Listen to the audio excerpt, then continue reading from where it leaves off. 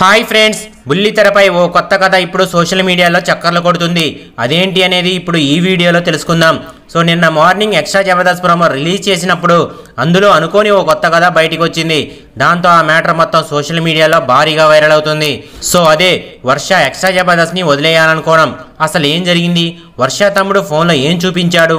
ఇంతలా ఎందుకు బాధపడుతూ ఏడ్చింది అనే విషయానికి వస్తే వర్ష ఇమాన్యుయల్తో కొంతకాలంగా లవ్లో ఉన్నట్లు ఎక్స్ట్రా జబర్దస్త్లో చెప్పింది. సో రోజా గారు అడిగినప్పుడు అదేం లేదు మేడం అని చెప్పొచ్చు కదా. కానీ వర్ష నిజంగానే లవ్ ఉన్నట్లు సిగ్గుపట్టడం ఏడవటం ఇవన్నీ కూడా లూప్ అందించినట్లయింది. సో దీంతో సోషల్ మీడియా ఊరుకుంటుందా? ఇష్టం వచ్చినట్లు మీమ్స్ ట్రోల్స్ చేసి ఇప్పుడు వర్ష ఫ్యామిలీని మొత్తం అల్లకల్లోలం చేసింది.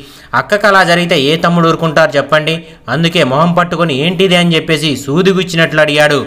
సో దీన్ని బట్టి తెలుసుకోవాల్సిన నీతి ఏంటి అంటే బుల్లితెరపై ఏదైనా ఉన్నది ఉన్నట్లుగా చూపించాలి. అది ప్రేమైనా కోపమైనా. అంతేగాని లేనిది ఉన్నట్లుగా సొంత ప్రచారం చేసుకుంటే ఇప్పుడు ఫ్యామిలీ మొత్తానికి బ్యాడ్ నేమ్ వస్తుంది. ఇమాన్యుయల్కే ఉంది. ఏం జరిగినా అతడు మగాడు. ఆయనకేం కాదు. కానీ వర్ష ఆడపిల్ల. ఏ కొంచెం తేడా వచ్చినా ఫ్యామిలీ మొత్తం తలదించుకోవాలి. బుల్లితెరపై సుధీర్ దాదాపు తొమ్మిది సంవత్సరాలుగా లవ్ ట్రాక్ ఉన్నట్లు ప్రచారం జరుగుతుంది.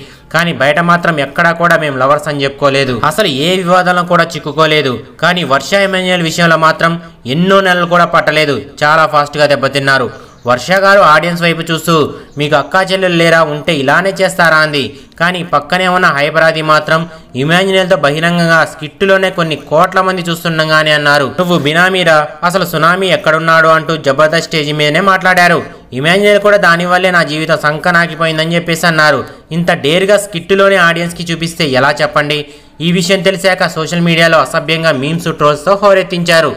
ఈ విషయం తెలుసుకున్న వర్ష తమ్ముడు వర్షాన్ని మొహం పట్టుకొని ఫోన్లో ఏంటిది చూడక్క అని చెప్పేసి అడిగాడు. సో అలా జరిగింది.